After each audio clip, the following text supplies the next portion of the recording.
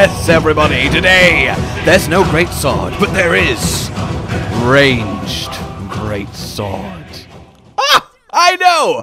Bow! So welcome, ladies and gentlemen, as I bring you my first Rise set for a weapon that has always been dear to my heart ever since its introduction in Monster Hunter 2, when I tried my best to make it work because I loved the notion of hunting with a bow. A hunting bow, it makes way too much sense but I could never quite get the hang of it back then. Since then, I have dabbled and dabbled, and in World and Iceborne, Dragon Piercer only builds captured my attention, but in Rise, I have committed myself to actually getting good.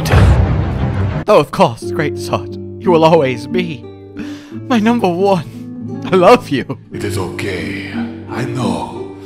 I will always be here. Go. Frolic. Express yourself. I'm proud of you. what? What am I doing? And I'll admit, I am quite pleased with the results of both my practice and this, my first, not only beautiful to look at, not only incredibly fun to play, but unbelievably powerful bow set. Even if it is just a little bit, let's say, off meta. But let's be honest, off meta sets tend to be the best ones, or at the very least, the most entertaining.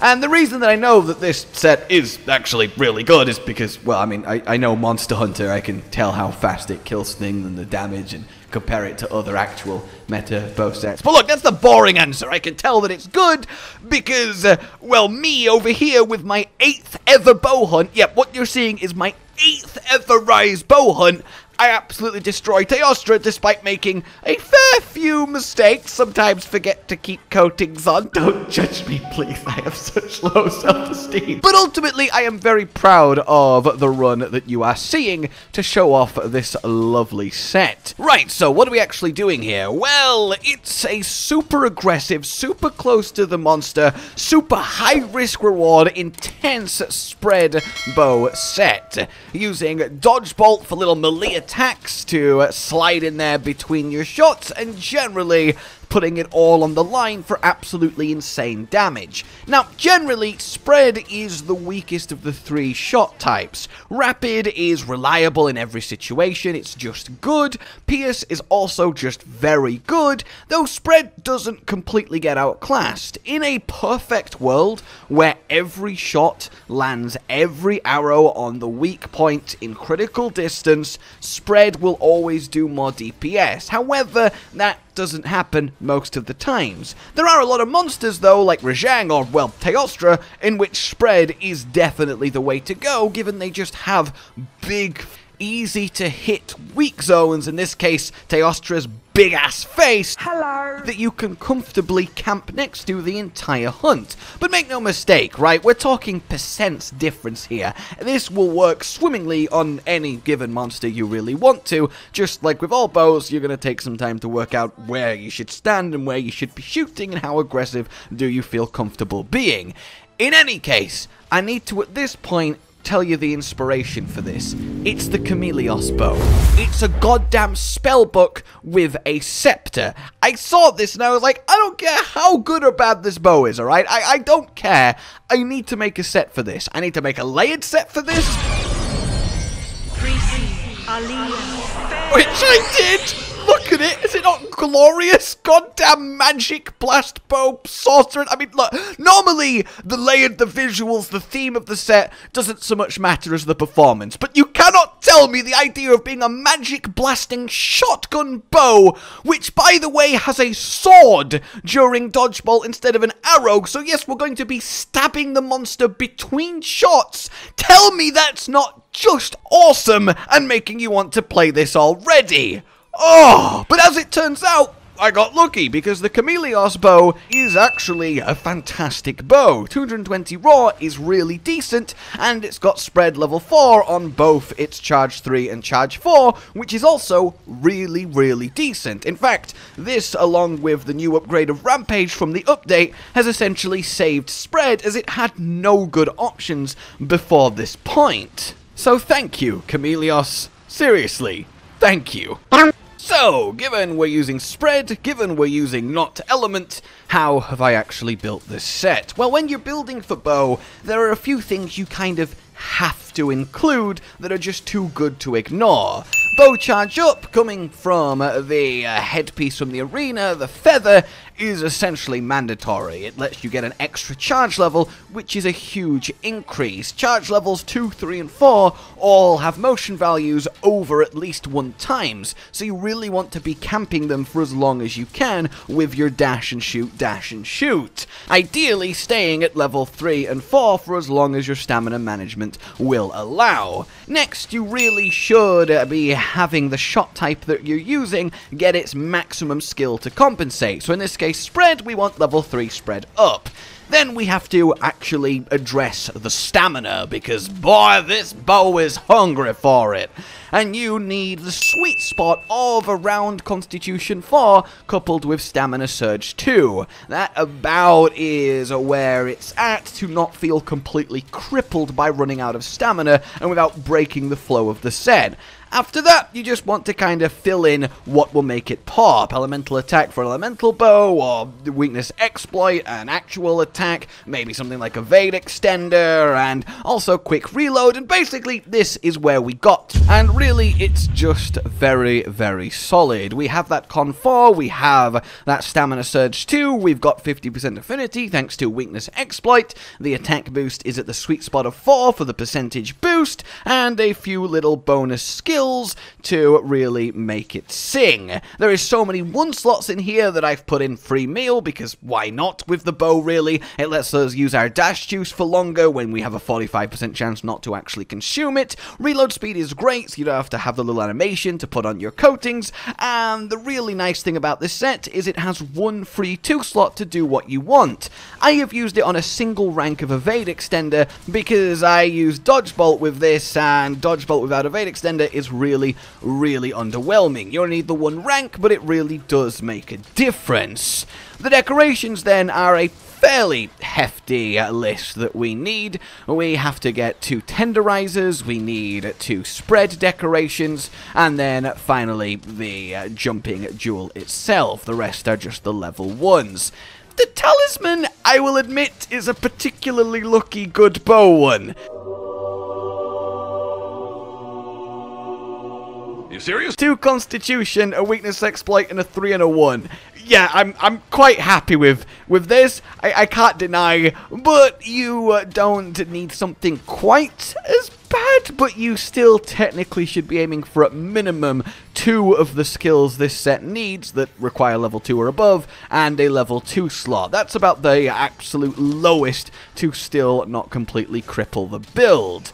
Then it's time to uh, switch to our switch skills aerial aim because it's just a lot of fun and it's really quite powerful. In fact, it's ridiculously powerful, though with spread it is definitely less good because you end up so far away from the monster a lot of the time that you're out of critical distance because the critical distance, and that, for those of you that don't know, is how far away you can be from a monster before your shots start doing less damage because you're too far away. It's basically you gotta hug the monster for spread if you want max damage, and when you launch yourself into the air, you're certainly not hugging it, but it's still very good in the right situations. The two main ones, though, are Dodge Bolt over your normal dash. Dodge Bolt essentially is a very much lower iframe, yet you will counter a attack if you time it correctly, move that covers less distance, but also comes with a bonus little melee swing as you do it. So when you are using a shotgun close range build anyway, this makes the perfect sense, because you get to dodge bolt through attacks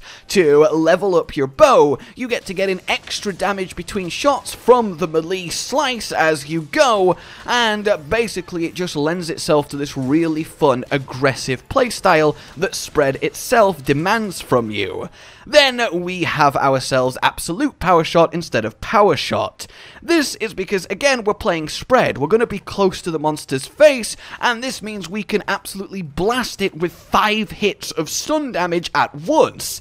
Spread is king when it comes to absolute power shot because of how many times it hits the face with each shot. You can rack up the KO damage actually wonderfully. I get on average 2 to 3 KOs a hunt, which is a lot of damage to be putting on a monster for free when you can just sit there wailing on it while it flails around. I mean, as you've been seeing in the footage, the damage that ends up being pumped out here is absolutely wonderful. So that's the general playstyle. You get up close to the monster's face and you dodge around it, keeping there, shooting it, shooting it, shooting it, doing the normal combo of get up to charge level 3 and 4, dodge, shoot, dodge, shoot, power shot, power shot, dodge, shoot, dodge, shoot, power shot, power shot, over and over again, using your coatings, managing your stamina as best you can, and just absolutely burning it down in a hectic all or nothing monster or me battle to the death, and it just feels so, so good